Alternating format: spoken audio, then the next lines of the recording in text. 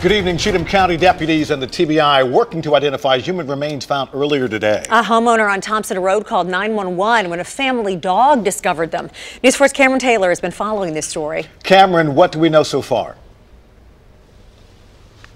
We know that there are human remains that belong to an adult Tom and Tracy. The sheriff is calling this a death investigation, and as you can see, several deputies are still here on Thompson Road in the Pegram area processing the scene. They've been here for a few hours today so far and expect to be here for quite some time. Now, neighbors tell me this is a safe neighborhood and they never see this type of law enforcement presence ever.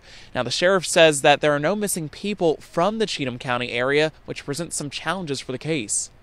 That's what's unusual to us. We know it's not a child, but we haven't had any report of any missing uh, people. Now we're close to Nashville. Nashville has has missing people every day, so but we're gonna we're gonna see. We just don't know right now. Whoever it is, I just hope and pray their family gets closure if they're looking for them.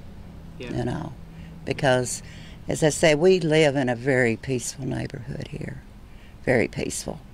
But for this, this has never happened before and investigators are expected to be here for quite some time. They've roped off several areas here on Thompson Road. Now, they're trying to answer several questions, including who these human remains belong to. That's why they've called in the TBI to help with this case. They hope to identify those human remains soon, but it's unclear when that might happen. Tom and Tracy. Quite a mystery, Cameron. Thanks.